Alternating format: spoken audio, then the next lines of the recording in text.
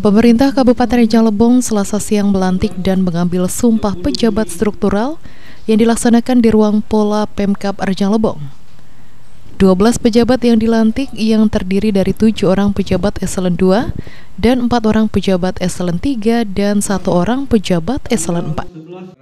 Sekda Kabupaten Rejang Lebong Yusran Fauzi yang memimpin pelantikan dan pengambilan sumpah jabatan mengatakan Tujuh orang pejabat eselon 2 yang dilantik tersebut mulai dari staf ahli hingga kepala dinas dan kepala badan.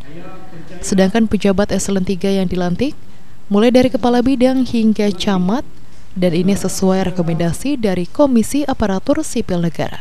Selesai, kemarin sudah tahapan terakhir rekomendasi KSI sudah, hari ini nanti. Jadi tujuh orang untuk eselon 2, kemudian ada tiga orang eselon 3A, dua sekretaris satu camat kemudian ada satu orang uh, eselon 3B kemudian ada satu orang tadi uh, di eselon 4 di Dukcapil in, dari rotasi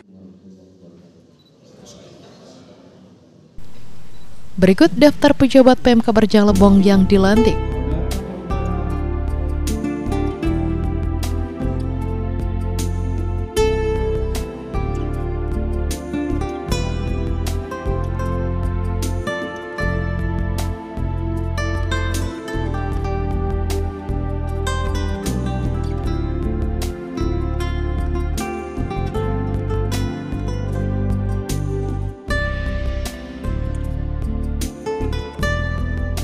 Handril Waldinata, RBTV, pelaporkan.